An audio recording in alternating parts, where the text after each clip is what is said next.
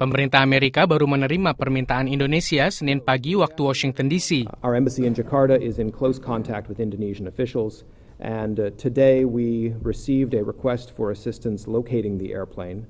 Um, and uh, we are reviewing that request to find out uh, how, how best uh, we, can, uh, we can meet Indonesia's request for assistance. Sebelumnya, Menteri Perhubungan Ignatius Jonan menegaskan lokasi pesawat diperkirakan berada di antara Tanjung Pandan dan Pontianak. Sebelum meminta bantuan Washington, Indonesia telah dibantu oleh Singapura, Malaysia, dan Australia untuk menemukan lokasi pesawat tipe Airbus A320-200 itu. Namun hingga hari kedua pencarian, tim gabungan belum menemukan kepastian. Australia mengirimkan pesawat milik Angkatan Udara AP-3C Orion buatan perusahaan senjata Amerika Serikat Lockheed Martin Pesawat ini dilengkapi sistem radar, komputerisasi, dan sistem pengumpulan data intelijen mutakhir untuk menjalankan misi pencarian dan penyelamatan di laut.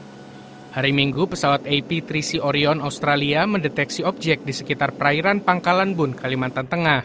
Informasi yang langsung ditindaklanjuti tim gabungan Indonesia. Memang menemukan pesawat di lautan yang luas tentu tidak semudah menemukannya di darat.